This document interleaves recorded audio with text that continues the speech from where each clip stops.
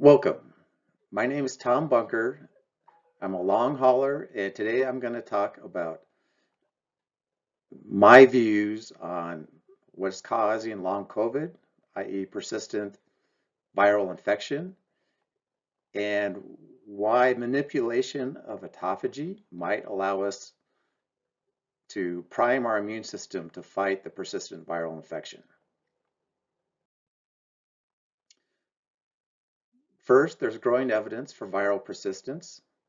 In particular, uh, some extensive autopsy studies on a variety of people that died. Uh, uh, some died from acute COVID-19, others died from other things, and uh, some of these people had mild or asymptomatic COVID-19 infections.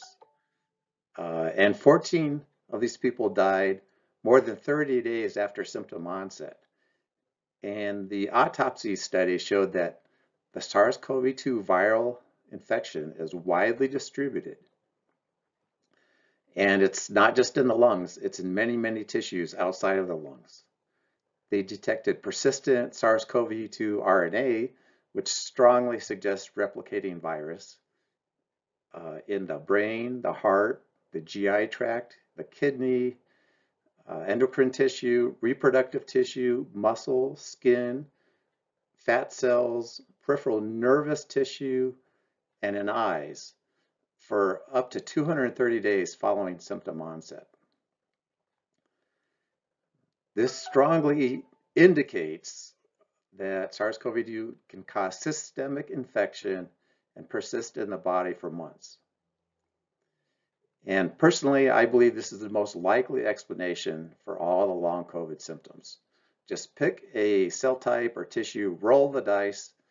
It's kind of a random thing, but if you, if you get a six or seven, that particular tissue uh, may be infected in a particular person. And the variability in which cells and tissues are infected, I think, explains the, the tremendous variability uh, between long COVID, long haulers in their long COVID symptoms. Okay, a little bit on autophagy. It literally means self-eating. This is a basic cellular process. It's responsible for uh, nightly house cleaning and recycling of damaged proteins and lipids. There's two main degradative pathways in our cells. One is this ubiquitin proteasome system, which mainly chews up uh, smaller uh, soluble proteins that are damaged, and then autophagy, which mainly chews up and degrades larger protein aggregates or complexes or even damaged cellular organelles such as mitochondria. Both these pathways are very important for the maintenance of a healthy cell. Uh, and a variety of cell stresses trigger autophagy. Lack of nutrients, lack of cellular energy, oxidative stress. Uh, and of course, oxidative stress leads to damaged proteins and lipids and DNA. Uh, misfolded proteins, uh, heat stress, lack of oxygen or hypoxia, and certain, you know, too much or too little iron or zinc DNA damage, etc.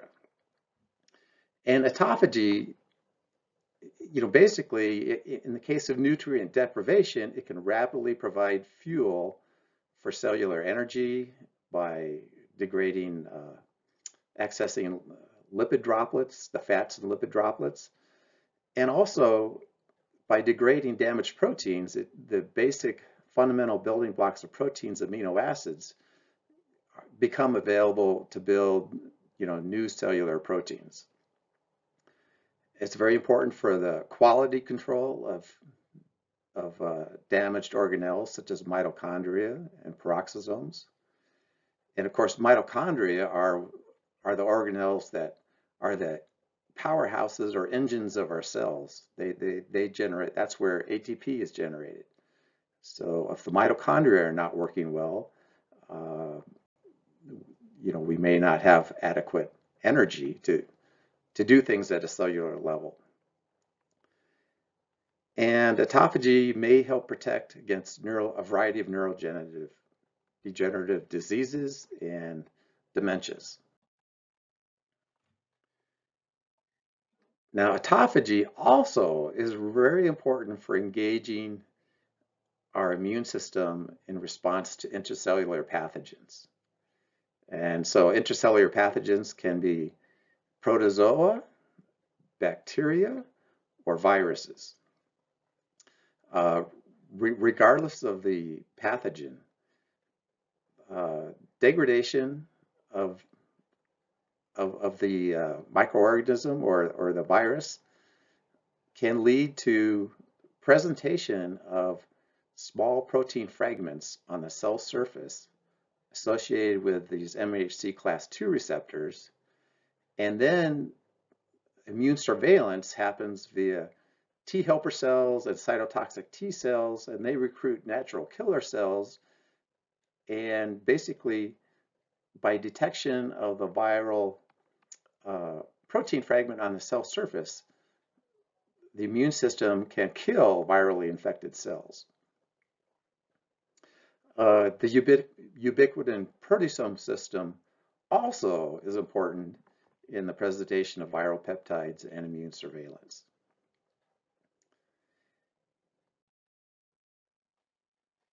Now, many viruses have evolved strategies to block autophagy, and some even subvert it, subvert it for the replication and and and uh, release.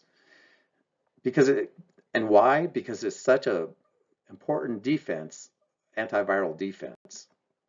So a successful virus has to learn, you know, how to deal with uh, the major cellular defense of autophagy.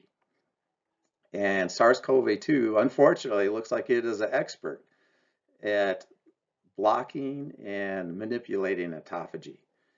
It encodes for a variety of, of viral proteins, which expressed in cell culture lead to an accumulation of autophagosomes. And in particular, this open reading frame 3A viral protein blocks fusion of autophagosomes with the lysosome. And the lysosome, that's a critical step because the lysosome has is an acidic uh, organelle, and these autophagosomes, which can contain viral particles or other damaged proteins, need to fuse with acidic lysosome to, de to degrade their contents. Uh, and then another trick it has is that it has open reading frame 7A, a viral protein that reduces the acidity of the lysosomes. So these lysosomes contain a variety of proteases that degrade the proteins and they need an acidic environment to operate efficiently. So basically, uh, SARS-CoV-2 infection of our cells leads to an accumulation of autophagosomes and prevents degradation of their cargo. Uh, it also produces uh, the, the main viral capsid, nucleocapsid protein, also impairs normal proteasome function. So it's, it's actively blocking both of the major degradative pathways. And by doing that, it's able to evade immune surveillance. And one consequence of impaired or blocked autophagy is that it can be highly inflammatory. Macrophages, dendritic cells, and epithelial cells, such as the barrier cells in our intestines, uh, all, all can be uh, all can be go into an inflammatory state when autophagy is impaired. And basically this slide shows that there's certain components that would normally be degraded by autophagy, including these ubiquitin inflammasomes uh, and damaged mitochondria. And in, so in a healthy cell, it's not inflammatory, but in a virally infected cell, you're going to get increased reactive oxygen species, damaged mitochondria, and you're you're going to block, if you're blocking autophagy, you're going to get these inflammasomes ac accumulating within the cell. And there's also uh, specific pathogen sensors that can activate NF-kappa B, and that also upregulates these inflammasomes. And basically, once you get a macrophage or a epithelial cell in inflammatory state, it leads to uh, increased secretion of IL-1 beta, which is a cytokine, which is a pro-inflammatory cytokine, and increases expression of adhesion factors on the blood vessel cells. So it allows them, you know, encourages certain cells of the immune system to leave the blood vessels and infiltrate into the tissues where, you know, where there's this localized inflammation. Now there's a number of cellular sensors that regulate autophagy. Uh, it can be, this AMPK is a sensor of energy status. So low energy status can inhibit AMPK, which can trigger autophagy. And things like berberine and metformin trigger autophagy via AMPK. Um, the SIRT1 is, there's a lot of talk about this in the longevity circles. Uh, when you boost NAD plus, uh, it, that can stimulate uh, SIRT1 activity and trigger autophagy. And then there's mTOR, which is the master regulator of cell growth. It's like a it's like a protein computer complex, uh, sensing a whole bunch of different things and controlling whether a cell uh, replicates, grows, replicates, and divides, or if it stays in a you know more quiescent state. And actually, when you inhibit mTOR, uh, you know that's when it triggers cellular autophagy. So when there's abundant amino acids and growth factors, mTOR will put the cell in a pro-growth mode, and it mainly measures leucine and the two amino acids, leucine and arginine. Uh, inhibiting mTOR induces autophagy. Boosting NAD plus is another way to trigger autophagy versus SIRT, 2 and 1. Okay. Now there's there's three main types of autophagy uh, and it was originally thought like the main type of autophagy, this general or macroautophagy, was non-specific. But as researchers have studied it more extensively, they figured out that there's all these adapter proteins involved. Like autophagy is like the general machinery. But then there's all these adapter proteins that can target specific substrates for degradation in uh, for for engulfment in the autophagosome and subsequent degradation in the lysosome. So it can, it can degrade the main iron storage protein in our cells, ferritin. It can uh, target peroxisomes or mitochondria in the cells. It can specifically target some viruses, some bacteria, lipid droplets, and misfolded protein aggregates.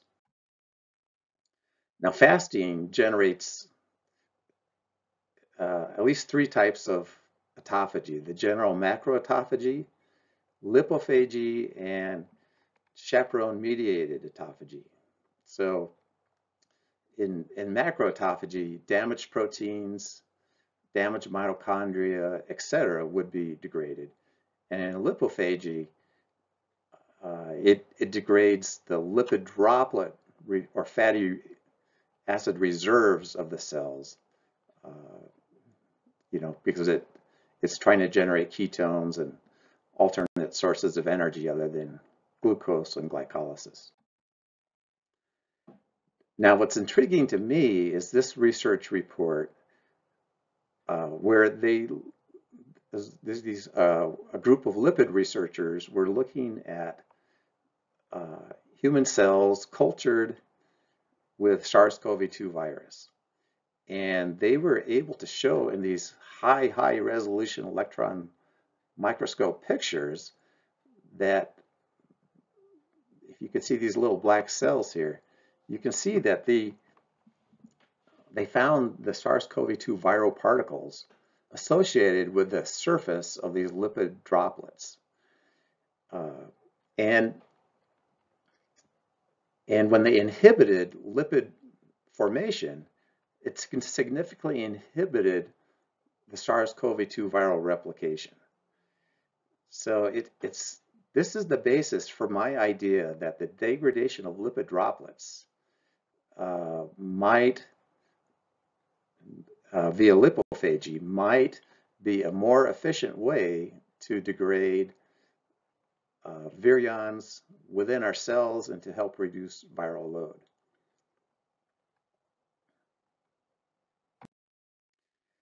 Okay, that's my overview of using autophagy to fight long COVID. Uh, you know, basically, I think that we can fight uh, this, this long COVID and persistent viral infection by periodic short one and two day water fasts uh, or by using a variety of supplements such as resveratrol to uh, temporarily increase oxidative stress and trigger autophagy in, in, in our cells. So there, there's a number of ways to trigger autophagy, uh, and I think we, all of them stress ourselves. So I'm not saying we want to do these things on a daily basis. Uh, I'm emphasizing that for safety purposes uh, and perhaps for efficiency purposes, we want to do periodic autophagy. Uh, and okay, that's that's it. Thank you for your time and good day.